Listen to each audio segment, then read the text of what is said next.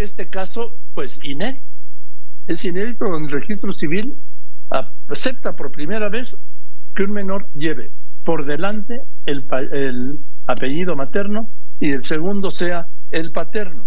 Este caso se dio a Alejandra Spitalier, tiene una secretaria general de la Presidencia de la Suprema Corte de Justicia de la Nación. Alejandra, muchas gracias, buenas tardes. Muchas gracias a usted, estimado Joaquín, muy buenas tardes, con el gusto de saludarlo. A ver, esto deriva de un fallo de la Corte, ¿no? Esta posibilidad. Sí, en un inicio, en, en el 2016, fue la primera sentencia que se emitió en la ponencia del ministro Arturo Saldívar, en donde una pareja quería eh, registrar a su bebé con el apellido materno en primer lugar y el paterno en segundo lugar, y el registro civil eh, de la Ciudad de México no lo permitió porque la norma que aplicaba en ese momento no permitía invertir el orden. Ese matrimonio ah, acudió al juicio de amparo y después nos llegó a la Suprema Corte y esa fue la primera sentencia que eh, dictó que era inconstitucional esa norma que aplicaba en la Ciudad de México y que los padres podrían registrar a sus hijos eh, de ese caso eh, en el orden de los apellidos que ellos decidieran. A raíz de esa sentencia, cuando se emitió en, ese entonces, yo estaba embarazada de, de mi primer bebé y fue cuando iniciaron las pláticas dentro del hogar con, con, mi esposo y ahí fue cuando se empezó a dar la discusión. Hoy en día esa norma ya se modificó, eh, se modificó a raíz de todos estos precedentes de la Suprema Corte y entonces al día de hoy la norma de, de la Ciudad de México ya permite que los padres registren a sus bebés en el, con el orden de los apellidos que, ellos decidan. Pero en efecto, eh, el caso de mi hija, fue el primer asunto que se registró eh, con ese orden de apellidos sin juicio de amparo y sin que la norma permitiera invertir el orden de los mismos. A ver, usted llegó al registro civil y ¿qué dijo? Bueno, primero en el hospital, porque ahora normalmente ya en, ya sale uno con el registro, ¿no? Digo, exactamente. los papás, pues. Sí, exactamente. en, el hospital? en el hospital me dijeron que no se podía, eh, que, la norma regulaba que primero se debía de registrar con el apellido paterno y eh, en el segundo lugar con el apellido de la mamá. Entonces, bueno, desde los papeles administrativos era muy complicado convencer a, la gente del hospital. Salimos del hospital sin poder registrar a la bebé y después acudimos a la oficina del registro civil próxima a nuestro domicilio, expusimos nuestro caso y también nos dijeron que no era posible. Nos recomendaron ir a la oficina central del registro civil y a los días, en cuanto yo ya pude tener movilidad con la bebé, acudimos a las oficinas, hicimos un segundo intento y nos dijeron que no era posible. Entonces, eh, mi esposo y yo pedimos audiencia con, con el director del registro civil y muy amable nos atendió y bueno, pues le expusimos que era voluntad de nosotros invertir el orden de los apellidos tengo que decir que sí fue completa voluntad de la pareja, pero bueno, que obviamente tuve que, ganarle a mi esposo en un volado la decisión de invertir el orden, porque bueno, finalmente todavía no estamos eh, como sociedad tan acostumbrados a que se registren con este orden. Y entonces, bueno, pues eh, nos atendió el director, escuchó nuestras razones, le expuse las razones que se habían argumentado desde la sentencia del ministro Arturo Saldívar y el director muy amable eh, nos dijo que bueno que, que sin duda era el primer caso que llegaba sin juicio de amparo y que él estaba de acuerdo en que tenía que ser un ejercicio de libertad de la pareja para em, igualar la cancha de las mujeres y los hombres dentro de la familia y entonces en términos de igualdad eh, nosotros estábamos en la libertad de elegir el orden de los apellidos y pidió que nos dejaran registrar a nuestra hija con el orden de los apellidos que nosotros decidiéramos. Entonces, eh, mi hija se convirtió en, esa bebé, ¿no? Ahora, pero a ver, estoy hablando con la secretaria de la presidencia de la Suprema Corte de Justicia de la Nación. Si va cualquier persona, pues ni la recibe el director del registro, ¿no? El día de hoy, eh, la norma del, que aplica a la Ciudad de México, estimado Joaquín, ya permite que los padres elijan el orden de los apellidos. Actualmente no debería de haber ningún inconveniente. Cualquier eh, pareja podría registrar a su bebé en el orden de los apellidos que ellos decidieran y no debería de haber ningún impedimento legal. En su momento este registro fue novedoso porque la norma no lo permitía. La norma ordenaba que se tenía que registrar con el apellido paterno en primer lugar y el materno en el segundo. De lo contrario, tenía que acudir al juicio de amparo para, a través de una sentencia, que eh, el órgano jurisdiccional ordenara al registro civil que se permitiera este registro. Entonces, en su momento, eh, efectivamente no era eh, lo, permitido por la norma ni, ni, ni lo, lo, que se acostumbraba. Al día de hoy la norma ya lo permite. En el 2017. Ah. Ahora, este, le puedo hacer una pregunta personal, si quiere me la conteste y si no me dice paso. ¿Por qué quiso este, por qué primero, por qué decidió usted y presionó a su marido para ponerle el nombre, el apellido materno primero y luego el paterno? ¿Me lo puede contar o si quiere pasa otra cosa? No, por supuesto, con todo gusto. En realidad no fue ningún tipo de presión.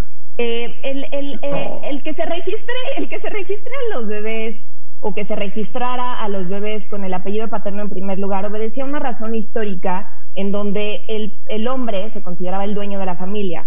Entonces el pater familia ponía su nombre a la familia porque era de su propiedad. Y eso fue una reminiscencia histórica que se fue acogiendo por las normativas aplicables. Al día de hoy no había ninguna justificación legal que, permitiera o que, explicara que ese debía de ser el orden correspondiente. Entonces, cuando llega la sentencia a la oficina del ministro Saldívar y a mí me toca involucrarme en el caso, empiezo a tener esta comunicación con mi esposo y, y bueno, teníamos eh, argumentos a favor y argumentos en contra. Mi apellido tiene una ascendencia extranjera y eso no nos gustaba porque estamos muy arraigados a nuestro país, queremos muchísimo, somos completamente mexicanos, entonces no queríamos que se malentendiera. Pero en términos de igualdad, en términos de libertad, nos encantaba la idea de registrarla con mi apellido en primer lugar. Sin embargo, bueno, pues mm, había argumentos de los dos lados y, no había un argumento ganador.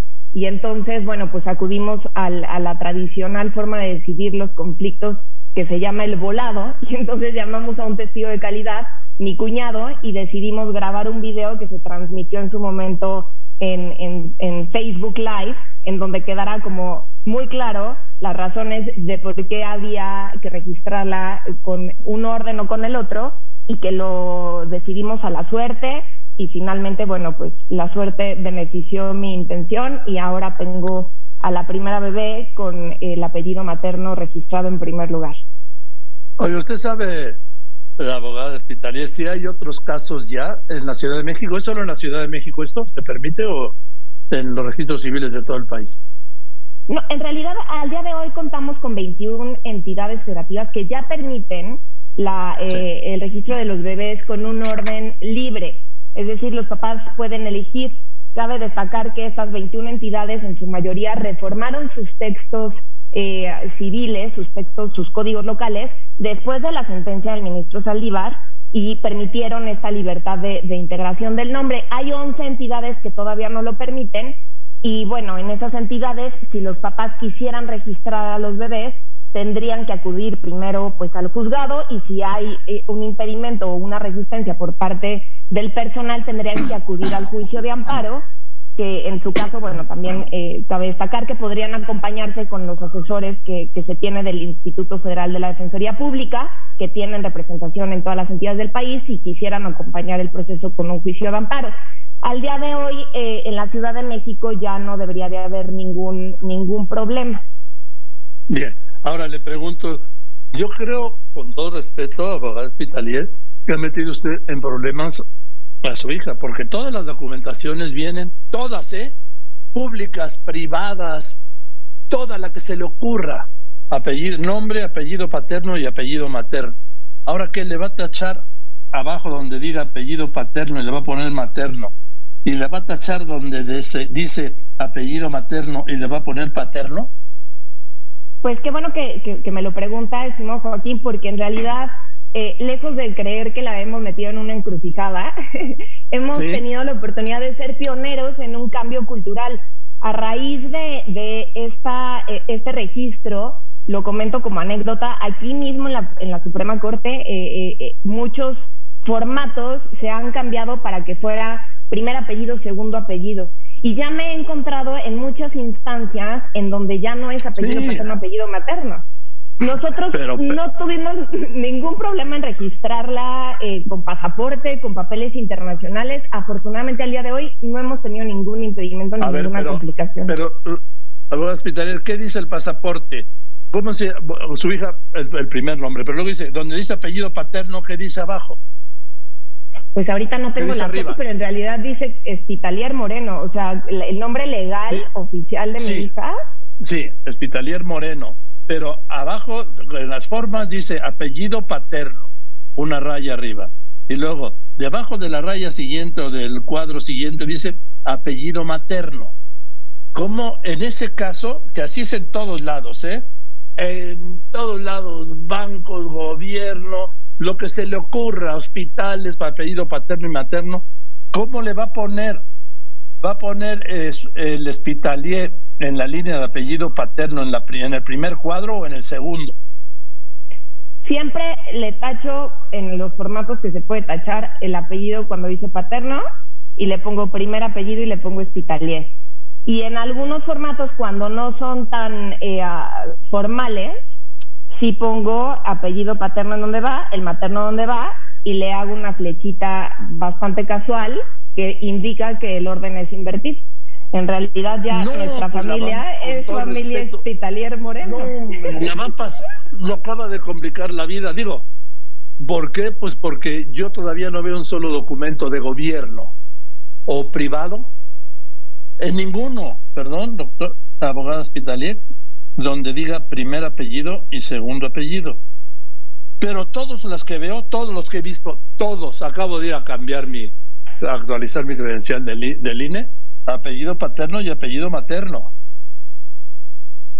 Voy a buscar los formatos. Eh, um, estoy casi segura que mi, mi, pasaporte nada más decía apellidos, estimado Joaquín, pero bueno, en realidad la verdad es que si yo... Si quieres lo volvemos a hablar, busque no, yo sí, si quieren lo volvemos a hablar, abogado hospitalier, porque este es un tema que da para muchísimo, ¿le parece bien? Y busquen los documentos y yo... Me encanta la idea.